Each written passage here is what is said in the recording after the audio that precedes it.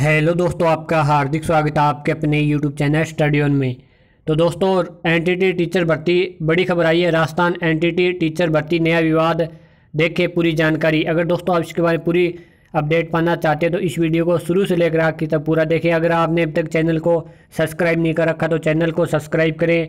तो देखते हैं दोस्तों, इसके बारे में पूरी जानकारी। जैसा कि दोस्तों, आप देख सकते हैं, ताज़ा अपडेट है एनटीटी भर्ती में नया विवाद। विभाग ने 504 चयनितों में से चार सौ पचास को दी नियुक्ति।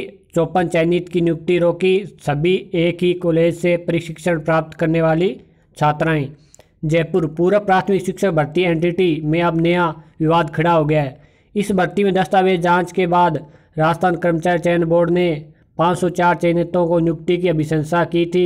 महिला बाल विकास विभाग ने इनमें से चार सौ पचास के नियुक्ति आदेश जारी कर दिए और चौपन चयनितों की नियुक्ति रोक ली। जिन चयनितों की नियुक्ति रोकी गई है, उन्होंने सभी ने जयपुर के निजी कॉलेज से प्रशिक्षण प्राप्त किया था। विवाद का कारण यह भी है कि इस कॉलेज से प्रशिक्षण करने वाली एंटिटी डिग्रीधारियों की वर्ष 2012 से 2013 में हुई भर्तियों में नियुक्ति हो चुकी है।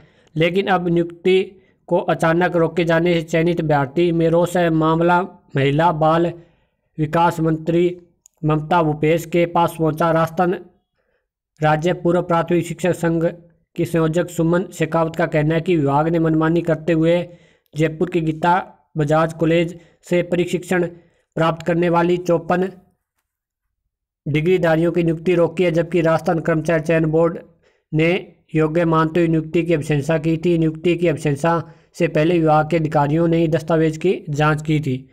तो दोस्तों, आप देख सकते हैं, एक नया विवाद खड़ा हो चुका है और चयन बोर्ड ने मानना योग्य महिला बाल विकास विभाग चौपन चयनितों को नहीं दे रहा नियुक्ति। तो दोस्तों, ये अपडेट थी एन टीचर भर्ती को लेकर जो आपके सामने शेयर करनी थी। धन्यवाद, मिलते हैं नेक्स्ट वीडियो में।